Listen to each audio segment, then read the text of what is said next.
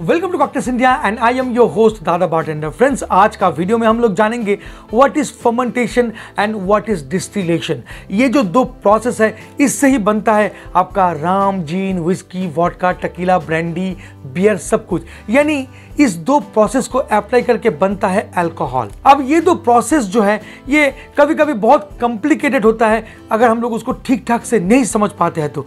अक्सर काफ़ी वीडियोस में आपको दिख जाएगा ये प्रोसेस को डिस्क्राइब करते हुए, मगर आज मैं आपको समझाऊँगा बहुत सरल भाषा में कि क्या है फर्मेंटेशन और क्या है डिस्टिलेशन ध्यान से देखिएगा, ये बहुत इंपॉर्टेंट है। अगर आप एफएनबी इंडस्ट्री से बिलोंग करते हैं या आप बारटेंडर हैं साथ साथ अगर आप विस्की इंथसियस्ट भी हैं तो प्लीज़ देखिएगा, ये वीडियो बहुत इंपॉर्टेंट एक वीडियो है।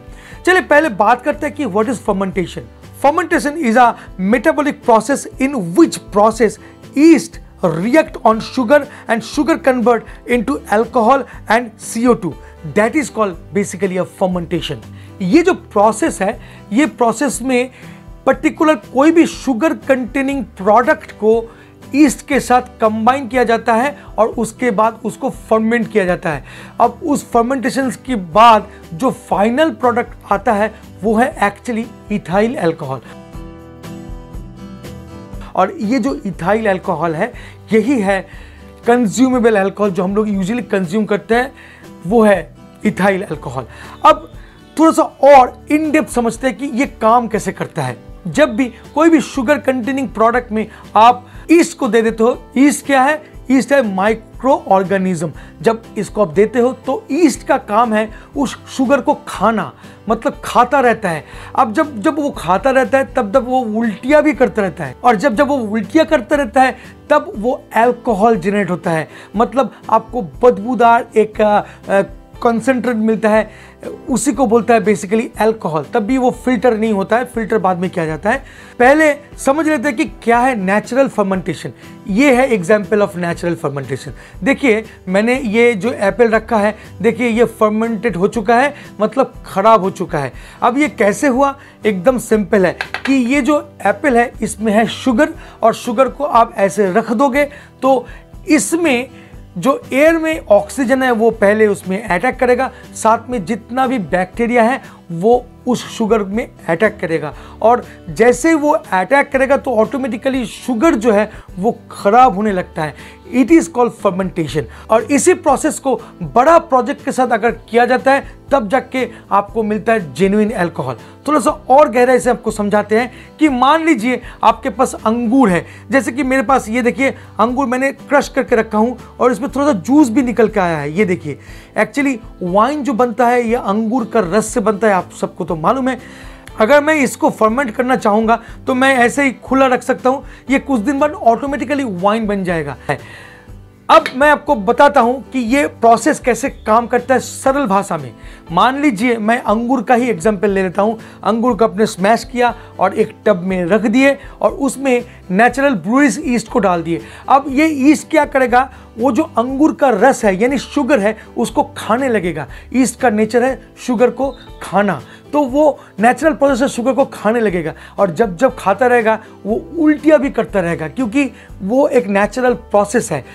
ईस्ट खाता रहेगा। जब तक उसमें शुगर है, तब तक वो खाता रहेगा। और जब शुगर बिल्कुल ख़त्म हो जाएगा, आपका जो अंगूर में, तब वो ईस्ट भी ख़त्म हो जाएगा। तब जाके और फर्मेंटेशन नहीं होगा। ये जो इंटायर प्रोसेस है, ये इसी को बोलता है फर्मेंटेशन प्रोसेस और इसी से अल्कोहल को अचीव किया जाता है। अब ये प्रोसेस जब ख़त्म होता है तब आपको जो फाइनल प्रोडक्ट मिलता है, उसका अल्कोहल परसेंटेज हो सकता है फाइव से फिफ्टीन परसेंट तक। ये है नेचुरल प्रोसेस से आपका अल्कोहल बनना।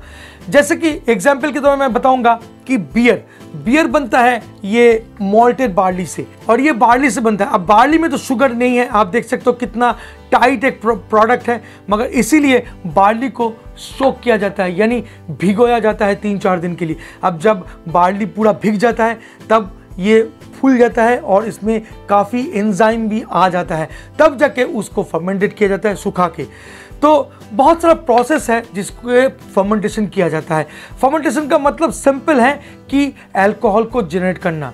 अब ये क्वेश्चन आता है कि मान लीजिए मैंने एक प्रोडक्ट को अल्कोहल में कन्वर्ट कर दिया तो उसका परसेंटेज ऑफ़ अल्कोहल जो है, वो है around nine percent of alcohol तो वो विस्की में जब जाएगा या राम जीन वॉटका में जब जाएगा, वो 40 परसेंट कैसे होगा? मतलब मैं अगर एग्ज़ाम्पल के तौर पे बोलूँ, जैसे कि मेरे पास विस्की है, ये विस्की में जो अल्कोहल परसेंटेज है, वो आपको दिखता है 40 परसेंट ऑफ़ अल्कोहल तो 40 परसेंट ऑफ़ अल्कोहल कैसे होता है? अब यहाँ पर आता है डिस्टिलेशन प्रोसेस। डिस्टिलेशन प्रोसेस एक ऐसा प्रोसेस है जहाँ से अल्कोहल को सेपरेट किया जाता है, हाई वॉल्यूम में ले जाता है। अब आपको समझाता हूँ कि क्या है डिस्टिलेशन प्रोसेस। डिस्टिलेशन प्रोसेस जो है, ये दो तरीके से किए जाते हैं। एक है पॉट स्टील मेथड, जो बहुत पुराना एक स्टाइल है, और एक है पेटेंट स्टील मेथड या कलम स्टील मेथड, जो एक क्विक और एडवांस तरीका है।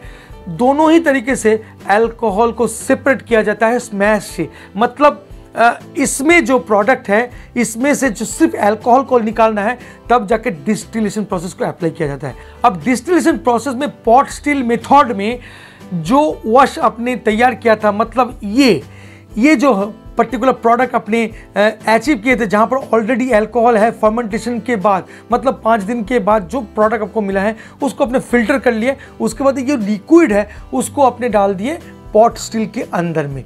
आप जब हीट जनरेट होता है, तब वो जो एल्कोहल है, वो जल्दी इवापोरेट होता है, क्योंकि वो जो लिक्विड अपने अंदर में डाला है, वहाँ पर काफ़ी मात्रा में वाटर है और वाटर से हम लोगों का जो अल्कोहल है, उसको सेपरेट करना है। और वाटर जो है, वो इवापोरेट होता है 100 डिग्री फॉरेनहाइट में आके। मगर अल्कोहल बहुत पहले ही इवापोरेट होने लगता है।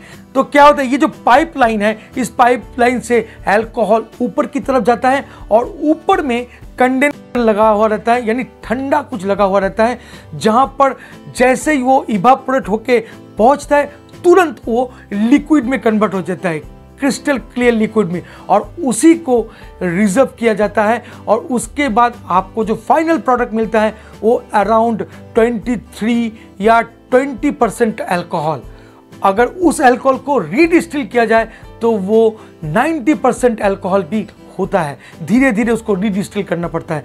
मतलब क्लियर है कि फ़र्स्ट डिस्टिलेशन के बाद आपको जो प्रोडक्ट मिलता है, वो ऐसा ही कुछ वॉट का जैसा प्रोडक्ट आपको मिलता है। तो ये है डिस्टिलेशन प्रोसेस।